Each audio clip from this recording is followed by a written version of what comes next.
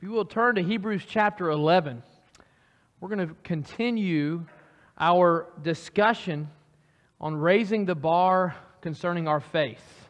And that those in the chapter of Hebrews 11, they raised that bar because of the faith that they had with the limited knowledge that they had, or the limited understanding of the promise, they showed their, their faith in God. And it helps us as we look to the promise that we too can have a faith as strong as theirs, and in, in some ways, even stronger. And tonight, we're going to look at the promise, that the promise it's, itself raises the bar concerning our faith. Because of the promise of these men and women, we recognize that we, in having that same promise, we can have uh, the greatest faith. And we're going to look in Hebrews chapter 11 and verse 20. And specifically, we're not looking at just one person, we're going to look at the patriarchs here and how they raised the bar concerning our faith. Verse 20 says, By faith, Isaac invoked future blessings or blessed Jacob and Esau. And so we recognize that Isaac, who was the son of promise, blessed Jacob and Esau. I meant to actually go to verse 17. Let's look at this. It says, verse 17, By faith, Abraham, when he was tested, offered up Isaac, and he had received the promises, was in the act of offering up his only son, of whom it was said, Through Isaac shall your offspring be named. So, Abraham, when he's being tested here, to be offering up his only begotten son.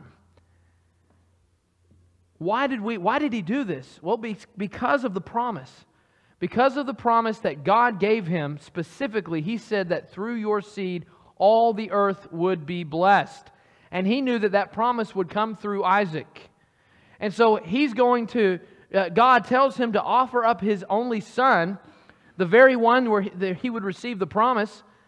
And so instead of Abraham saying, God, what do you mean? You said that through my son you would, you would make all the earth be blessed.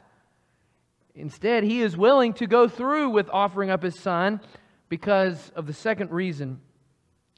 Because he recognized, verse 19, he considered that God was able even to raise him from the dead, from which, figuratively speaking, he did receive him back. Well, I think it's important. New King James doesn't say back there, it says that from, figuratively speaking, he did receive him. We know that in verse 12 of Hebrews 11, that Abraham, he, he might as well have been, now notice, look at this. It says, Therefore, one man, and him as good as dead, were born descendants, and many as the stars of the heaven, and as many as the innumerable grains of sand by the seashore.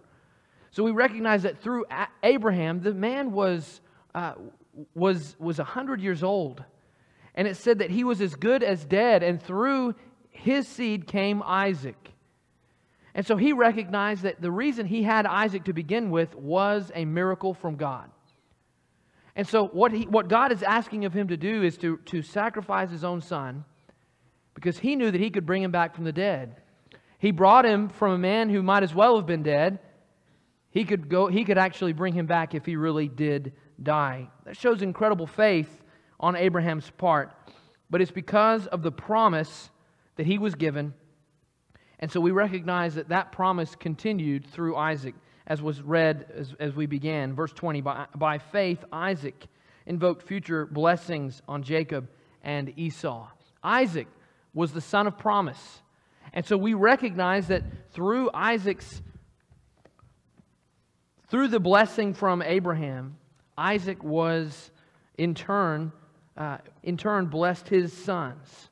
And so I think it's important to realize that he is the son of promise. And I wanted to go to Genesis chapter 48. Actually, not Genesis 48. 48, yes, Genesis 48, verses 3 through 5.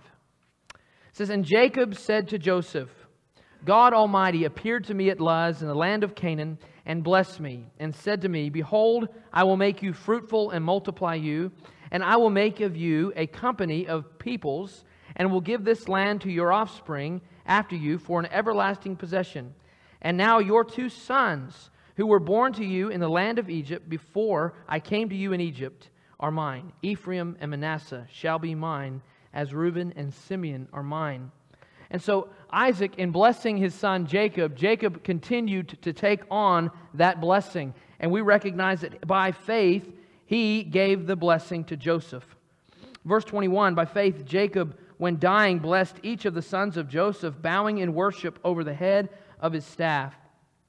And so Jacob recognized that he must pass on this blessing to Joseph. He didn't give it to Joseph, he gave it to Ephraim and to Manasseh. He made Ephraim and Manasseh uh, children of Israel, tribes of Israel. And so that through them, all the earth would be blessed. And so we see this promise continuing to be passed down from Abraham all the way now to Ephraim and Manasseh. Now, verse 22 of Hebrews 11. By faith, Joseph, at the end of his life, made mention of the exodus of the Israelites and gave directions concerning his bones. You see, Joseph, who had uh, been sold into slavery, uh, look at, you can look at his life and see all of the, the wonderful blessings that he was for us. He recognized the providence of God and how that God had used him to save the entire world from famine. And in Genesis chapter 50, he tells his brothers, he says, You meant this for evil, but God meant this for good. He recognized that the promise had been fulfilled through him. But none of the great things that Joseph did was recorded in this chapter. It is simply the fact that he says, Take my bones out of Egypt. That is why he was recognized as having faith. You see, Joseph had become second in command of all of Egypt. And it could have been that he wanted to remain in Egypt. He could have thought, well, this is the promised land. This is, uh, this is better than anything my brothers did for me. He could have said, look at what I have created for myself.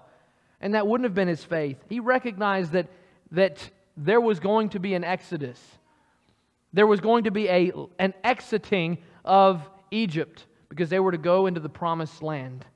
And so he's saying, I want to go too. Take my bones with you. And he's explaining to his brothers before he dies that they're all going to be leaving Egypt. He is prophesying that they will go into a promised land, that Egypt is not the promised land. And so for us, how does that, how does that apply to us today? Well, we've got to recognize that the promised land is a preparation for the church, which is a preparation for heaven. We have a promised land that we are that we have been promised. It's not something that God will go back on. It is not something that, that, he will, that He will fail us concerning. He has promised that He will give us eternal life through Christ Jesus our Lord. And actually, we find that we have hope through that promise. We have hope through that promise and that promise alone. We don't have hope in anything else. We don't have hope in our abilities. We can only have hope in Jesus the Christ, in the promise. That's why he said in the chapter before, the Hebrews writer tells us in verse 23 Let us hold fast the confession of our hope without wavering, for he who promised is faithful. Why do we have hope? Is because he who promised is faithful. He is one who will give us that promise. So, for you and I this evening, we have a responsibility to look to these, these witnesses, to look to these individuals who raise the bar concerning their faith. They raise it for you. They're raising the standard for you and I when it comes to our faith. And in the Hebrews writer tells us because of these clouds of witnesses, what are we to do?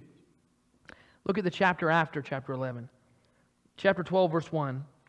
Therefore, he's referring back to these individuals we've discussed.